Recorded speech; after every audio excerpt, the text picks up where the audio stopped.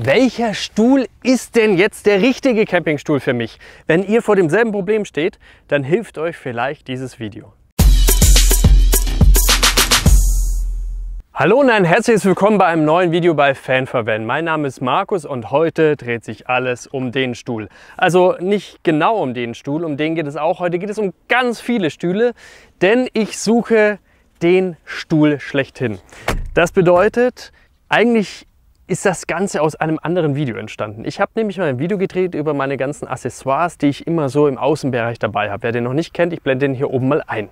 Und zu den Accessoires für den Außenbereich gehören natürlich auch die richtigen Stühle. Und ganz zum Ende des Videos sagte ich dann, ich kann euch da leider nicht wirklich Stühle empfehlen, weil ich die für mich optimal noch nicht gefunden habe und habe dann quasi einfach, weil es so aus mir rausgesprudelt ist, einen Aufruf gestartet und habe gesagt, hey, wenn ihr einen coolen Stuhl habt, dann schreibt es mir. Ja, und das ist dann passiert. Ich habe über 418 Nachrichten von euch bekommen. Nicht nur in den Kommentaren von YouTube, sondern auch über Instagram. Ich habe es bekommen über Facebook, über meine E-Mail natürlich. Also ihr wart ja so fleißig und das war echt Wahnsinn. Das hat mich richtig überfordert. Ich saß nächtelang am Rechner, habe mir die Modelle angeschaut, habe recherchiert. Es war wirklich Hammer. Also ich war da total überwältigt von teilweise auch ein bisschen überfordert. Ich habe euch noch gar nicht allen antworten können, weil es einfach so viel war. Und deswegen an der Stelle für alle nochmal, die mir da ihre Tipps geschrieben haben, herzlichen Dank. Das war wirklich toll und es hat mich definitiv einen Schritt weitergebracht zu dem Stuhl, in den ich mich verlieben möchte. Und genau darum geht es heute. Und das Thema ist aber ganz, ganz schwierig, denn ich finde, ein Campingstuhl ist genauso schwierig zu definieren, was ist da der beste, wie das passende Wohnmobil. Jeder hat andere Bedürfnisse, jeder hat andere Reisen, jeder verlebt den Urlaub einfach anders und dementsprechend sind die Ansprüche an ein Wohnmobil, aber eben auch an so einen Campingstuhl komplett unterschiedlich. Und deswegen will ich euch nicht nur die Stühle zeigen, sondern euch natürlich auch noch sagen, auf was ich Wert lege. Daher habe ich diesen Film wie immer in verschiedene Kapiteln unterteilt. Im ersten Kapitel erkläre ich euch mal, welche Ansprüche ich an einen Campingstuhl habe. Danach stelle ich euch die einzelnen Modelle vor, die für mich jetzt so in die engere Auswahl kamen. Und zu guter Letzt im Punkt 3 gibt es dann mein Ergebnis, welchen Stuhl werde ich mit auf Reisen nehmen und welche Tipps habe ich für euch in puncto der perfekte Campingstuhl. Und damit ich euch nicht länger auf die Folter spanne, fangen wir an. Ich wünsche euch viel Spaß bei diesem Video und äh, ich hoffe, dass immer so ein kleiner Vibe mitschwingt und zwar an Dankbarkeit, weil ohne euch wäre dieses Video niemals zustande gekommen. Jetzt aber zu Punkt 1, welche Bedürfnisse habe ich? Kommen wir zu Kapitel 1, was ist mir wichtig, welche Bedürfnisse habe ich jetzt an so einem Campingstuhl? Und das ist bei mir ganz einfach. Ich habe so, ich sag mal zweieinhalb Hauptbedürfnisse, anhand deren ich am Ende entscheiden werde. Und zwar muss das, und das seht ihr hier schon, es muss in meinen Kofferraum passen. Ich habe halt einen Kasten und deswegen bin ich da sehr reglementiert, was die Größe des Stuhls betrifft. Und dabei geht es mir nicht nur um die Abmessungen, sondern ganz ekliges Thema auch um die Zuladung, also um das Gewicht. Was kostet der Stuhl im Sinne des Gewichtes, was ich sonst noch mitnehmen könnte? Und da musst du natürlich auch immer überlegen, ich nehme ja nicht nur einen Stuhl mit, sondern wir reisen in der Regel zu dritt und deswegen habe ich den Stuhl und damit auch das Gewicht immer mal drei. Das sind also meine persönlichen Bedürfnisse und damit ihr das seht, momentan habe ich den Stuhl hier in diese Ecke, weil ich aktuell einfach diese Stühle habe, die halt super kompakt sind und die passen da mega in die Ecke. Für mich top, weil dann bleibt mir der ganze linke Bereich zum Beladen von Sportutensilien, was man halt sonst so alles so mitschleppt. So, also das ist so das erste ganz wichtige Kriterium. Der zweite Punkt ist, das Ding muss halt bequem sein. Ich will da halt Spaß haben beim Sitzen. Im Sinne von zum Beispiel Punkt 1, ich will meine Füße hier unten reintun können. Bei manchen Stuhlkonstruktionen kannst du dann hier nicht rein. Das mag ich halt einfach nicht. Bin ich piekig, ich weiß. Das nächste ist, da drehe ich mich mal zur Seite ich würde ganz gerne den Stuhl in der Neigung verstellen können. Wenn ich da mal gemütlich mein Bierchen trinke, dann will ich da vielleicht ein bisschen weiter zurückgehen und will den Ausblick genießen. Und dann wäre noch mein dritter Wunsch, dass mein Kopf hier eine Stütze hat, damit ich nach eineinhalb Bier, wenn ich dann einschlafe, am nächsten Morgen hier nicht so Schmerzen habe. Ihr wisst, was ich meine. Also mir wäre einfach nur eine Kopfstütze auch noch lieb. Und das ist meine eierlegende Wollmilchsau. Ich bin also auf der Suche nach einem Stuhl, der so kompakt ist wie der, weil dafür liebe ich diesen Stuhl, auf dem ich gerade sitze, aber so komfortabel wie, keine Ahnung was, der größte Liegestuhl, den man sich nur vorstellen kann. Und ähm, bevor wir jetzt lange weiter schmökern, interessiert euch natürlich noch, was ist denn so der halbe Punkt, der mir noch wichtig ist? Naja, das ist natürlich der Preis. Das ist auf die Dauer dann für dich in den Ansprüchen nicht so wichtig, aber am Anfang natürlich schon, weil so ein Stuhl kann schon auch eine gewisse Investition sein. Deswegen nur ein halber Punkt, weil ich will da nicht geizig sein. Also ich gebe gerne mal 20 Euro mehr für einen Stuhl aus, was aber in Summe bei mir auch schon wieder 60 Euro sind, wenn er halt super bequem ist. Also ich will jetzt nicht primär aufs Geld schauen, aber Preis-Leistung ist am Ende natürlich auch wichtig. Und deswegen kommen wir jetzt zum nächsten Punkt. Welche Stühle habe ich jetzt durch euch in meine engere Auswahl gezogen? Dann will ich euch nicht länger auf die Folter spannen. Ich packe mal alle meine Schätze aus. Der erste, den seht ihr ja schon.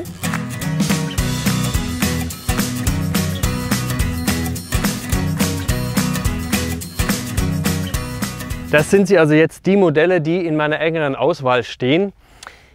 Und es gibt noch ganz viel mehr Vorschläge von euch und das auch gleich mal vorweg, auch ein bisschen zur Transparenz des Filmes. Ich habe noch viel, viel mehr Ideen und Vorschläge von euch, auf meiner Webseite, damit ich das einfach übersichtlicher gestalten kann. Warum kann ich die ganzen Stühle jetzt nicht alle auf einmal zeigen? Einmal, weil es einfach viel zu lange dauern würde und zweitens, weil ich ungerne Werbesendungen machen möchte. Ich kaufe mir die Sachen wirklich selber. Ich habe da keinen Hersteller angeschrieben, werde da von irgendjemandem gesponsert oder irgendwas. Ich habe mir die Sachen selber gekauft.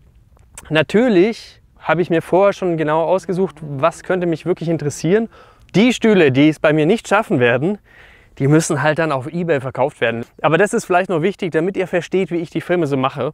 Und deswegen war es mir jetzt natürlich nicht möglich, da extremst viele Stühle zu kaufen, aber ich glaube, das ist eh schon mal eine richtig gute Auswahl.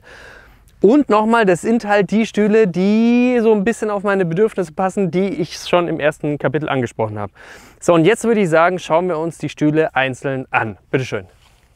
Ja, und beginnen möchte ich dieses Spezifikationen-Festival mit dem Bocamp. Er hat eine maximale Belastung von 100 Kilogramm, hat eine Rückenlänge von 56 cm, eine Sitzhöhe von 40 cm, eine Sitztiefe von 43 cm, eine Breite von 44 cm und sein wahres Können spielt er natürlich im Packmaß aus. Das liegt bei 55 mal 7 mal 65 cm bei einem unfassbaren Gewicht von 2,1 Kilogramm. Der Preis dieses Stuhles liegt bei ca. 25 Euro.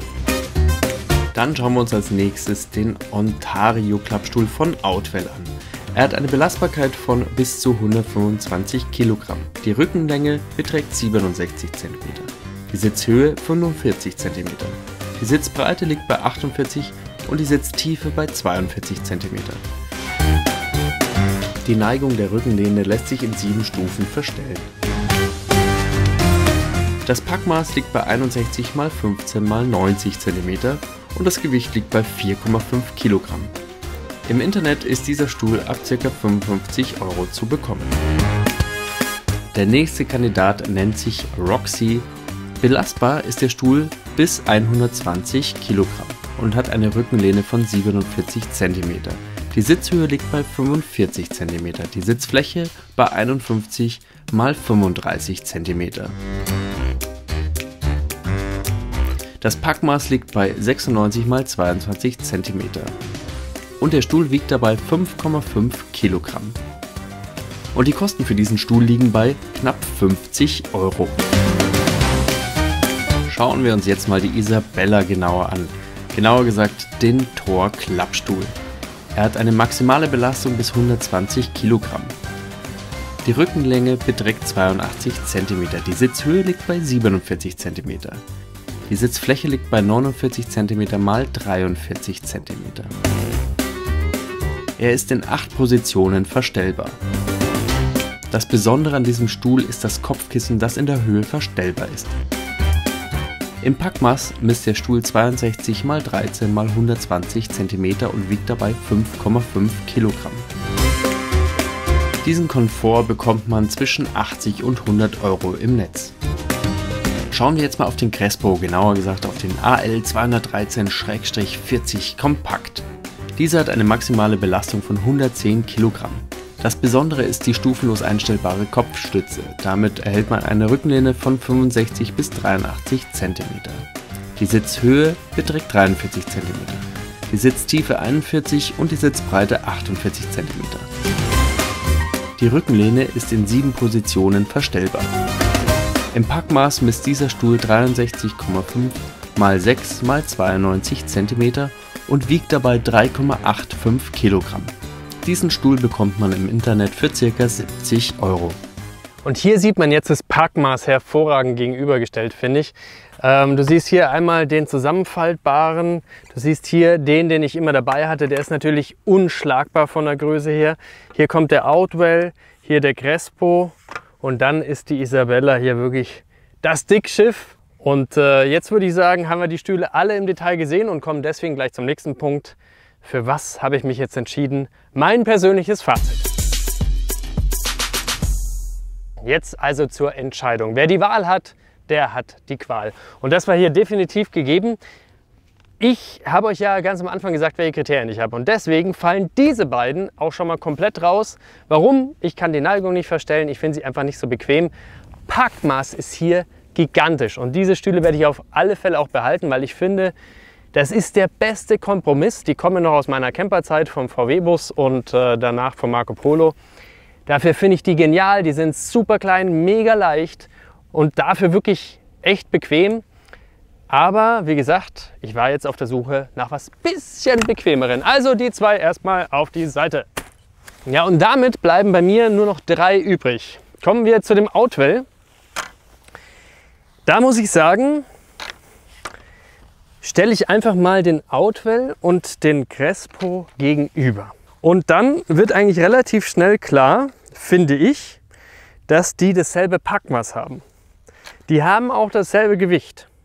Die haben beide verstellbare Rückenlehne, aber das hier macht für mich den Unterschied.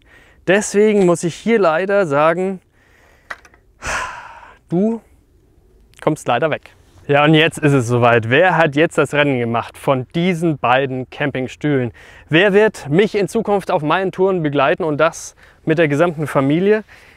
Die Entscheidung fällt mir wahnsinnig einfach und dennoch unfassbar schwer. Warum? Weil dieser Stuhl ein Gedicht ist. Der ist wirklich ein Traum, der ist so bequem, also der ist bequemer als meine Gartenstühle und ehrlicherweise auch viel bequemer als meine Esszimmerstühle zu Hause. Es ist sagenhaft, der ist wunderbar gepolstert, der passt sich, also für, für meinen Körper finde ich, ist der mega. Ich finde den richtig, richtig toll. Ich muss schauen, ob ich dahinter gehen kann. Auch dieser Liegekomfort. Also der Stuhl, der hat mich absolut begeistert. Trotzdem wird es bei mir dieser Stuhl, der Crespo. Und ich bin nicht traurig drüber. Aber ganz einfaches Thema, ich kriege den nicht in meinen Kofferraum. Also zumindest nicht so, dass ich noch andere Sachen reinkriege, die mir einfach auch wichtig sind auf Reisen. Der ist einfach zusammengeklappt, leider zu voluminös für mich. Ich würde auch das Gewicht in Kauf nehmen, aber es geht trotzdem nicht. Er ist einfach zu groß. Aber, und jetzt wird der Crespo ein bisschen traurig sein, weil ich sage, er ist die zweite Wahl. Nein, ist er nicht. Der ist super bequem, der ist wahnsinnig klein, kompakt, wenn man ihn zusammenfaltet. Also für diesen Komfort im Vergleich. Ich finde, Preis-Leistungs-Verhältnis ist top. Ich weiß auch, dass es den in zig verschiedenen Ausführungen gibt und den kannst du dir auch so rauslassen, dass der am Ende sogar annähernd so bequem ist wie dieser hier. Ich blende euch, wie ich das schon gesagt habe, alles dann auf meiner Webseite nochmal ein, dass ihr da eine bessere Überstellung gegenüber habt. Welcher Stuhl ist jetzt wie, wo und wo unterscheiden die sich. Das ist gerade, finde ich persönlich, bei den Crespo am Anfang gar nicht so einfach. Aber ganz ehrlich, fahrt wirklich in Campingzubehör und probiert es aus. Denn, ich sage es jetzt zum zehnten Mal, es tut mir leid, wenn ich mich da wiederhole, das sind halt meine Bedürfnisse. Und das ist der für mich perfekte Stuhl. Der passt zu meinen Bedürfnissen, die ich habe, um ihn im Auto unterzubringen und auf der anderen Seite finde ich ihn mega bequem. Jetzt wisst ihr also Bescheid, welchen Stuhl ich in Zukunft mitnehmen werde und ich habe aber noch ein paar Tipps für euch. Ich finde diese kleinen Hocker hier wirklich ideal. Ich habe die gern beim, beim Zelten zum Beispiel dabei und äh, die bieten sich hier auch perfekt als Beinauflage an und trotzdem kannst du sie auch noch mal, wenn du Kinder hast oder Gäste hast, auch noch mal als zusätzliche Stühle hernehmen. Super klein, passt wirklich gut rein. Ja, und das andere Hockerlein, das ich hier noch dabei habe, ist dieser hier. Der kommt direkt von Crespo. Es gibt auch eine Stuhlverlängerung, die war mir aber zu klobig. Ich finde diesen Hocker hier super, weil du ihn eben auch als Hocker verwenden kannst, aber weil er auch super dazu passt, um als Beinverlängerung zu fungieren. Ja, und damit sind wir mit diesem Video auch am Ende. Ich hoffe, es hat euch ein bisschen geholfen, ein bisschen weiterzukommen in eurer Entscheidung. Und wenn es nur daran liegt, dass ihr wisst, worauf ihr jetzt Wert legt. Denn das ist ganz, ganz wichtig. Es gibt so viele Stühle auf dem Markt. Sucht da einfach den für euch perfekten raus. Ich glaube, ich habe jetzt für uns die richtigen gefunden. Es wird sich noch zeigen, denn wir werden jetzt die nächsten Wochen mal ein bisschen auf Tour gehen, ein bisschen Urlaub machen und da werden wir natürlich noch mal sehen, ob die Stühle wirklich das einhalten, was sie mir jetzt versprechen. Und da werde ich euch natürlich auch nochmal entsprechend Feedback geben. Schreibt mir super gerne in die Kommentare, wenn ihr noch weitere Hinweise habt oder wenn ihr gar Fragen habt. Ich versuche dann so schnell wie möglich zu antworten. Wie gesagt, jetzt ist so ein bisschen Urlaubszeit auch für mich. Ich hoffe, ihr gönnt mir das. Und ähm, da werde ich nicht immer sofort antworten können, aber ich versuche das wirklich so schnell wie möglich zu machen. Wenn ihr das alles in den Kommentaren hier unten macht, dann ist das für mich am einfachsten und dann versuche ich da auch wirklich am schnellsten drauf zu reagieren. Ansonsten, wenn ihr sagt, das hat mir was gebracht, lasst super gerne ein Like da. Das ist immer eine tolle Bestätigung und Motivation für mich, diese Videos zu drehen und dafür ordentlich zu schwitzen. Und wenn ihr ganz wild seid, dann kennt ihr das ja, dann abonniert auch super gerne den Kanal, drückt auf die Glocke, denn dann verpasst ihr kein Video mehr von Fan for Van. Denn selbst wenn Urlaubszeit ist, kommt jeden Montag 18.30 Uhr ein Filmchen. Ich hoffe es zumindest und ähm, werde daran festhalten, auch in der Urlaubszeit. Und wünsche euch, egal wohin auch immer ihr reist, eine super bequeme, komfortable, praktikable Reise und kommt gesund und glücklich wieder zurück und dann sehen wir uns kommenden Montag 18.30 Uhr. Ich freue mich auf euch. Bis dahin, alles Gute, euer Markus. Ciao. Oh. Nee, ich muss was trinken. Ist der Wahnsinn.